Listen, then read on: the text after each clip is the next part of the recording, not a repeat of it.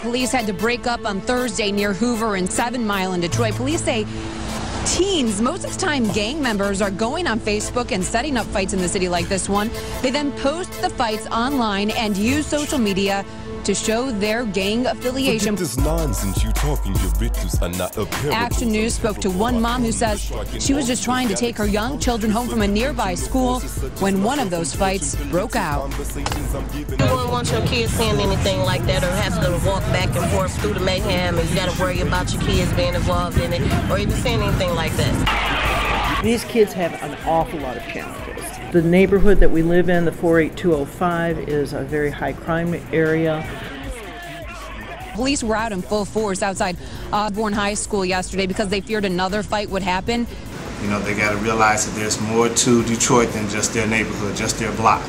I really want to get away from all the arguing and um, like weapons and stuff like that. But I'm not in the streets, but it's just that I don't like the dangers and stuff because I really want to be playing basketball with my friends, but really I can't do that because my mama is very worried that something's going to happen.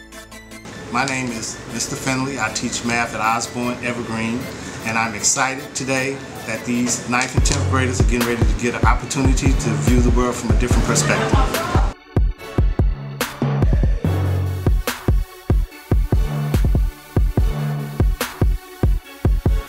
That is what yours looks like. Here's uh, another technology. I want to be a music producer when I grow up. Like music is my passion. Like I love music. I listen to it every waking day of the moment. And I want to be a football player yeah, or engineer. I want to be a professional barber when I grow up. I was thinking about becoming a lawyer. I want to be a science professor at MSU. The college I wanted to go to was Stanford. Florida State University. I either want to go in computer to computer and design or culinary arts or engineering. My name is Silas Moore. I'm in ninth grade and I go to Osborn Evergreen Academy.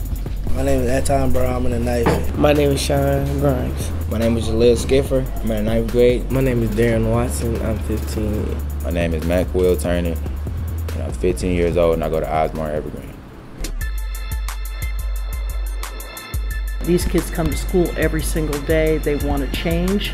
They want to see a change in their neighborhood. They want to see a better future for themselves. They are willing to work hard. They're willing to, to give the extra and go the extra mile if they need to. I learned calculus like around eighth grade and stuff, so I'm I should, I'm on my stuff in ninth grade. Well, math because that's my favorite subject, really. Yeah, I love I love algebra because our algebra teacher is very right. Like he always give us homework every day. He don't never let us down. He uh motivates me even when I'm doing bad. He, he he sit down and talk to me with my parents. He don't never like down me about something. He also like make sure I'm focused because he want to see me succeed in life. We just came out with this machine right here. The other nice thing is the other flexible materials and uh, why is it so um, heavy? We removed the the real pine cone by burning it out. Uh, I learned a whole bunch of stuff today. I learned a lot of stuff. I had a good time. He's got 20 some uh, additive manufacturing machines in his facility. All he does is build parts using a 3D printer.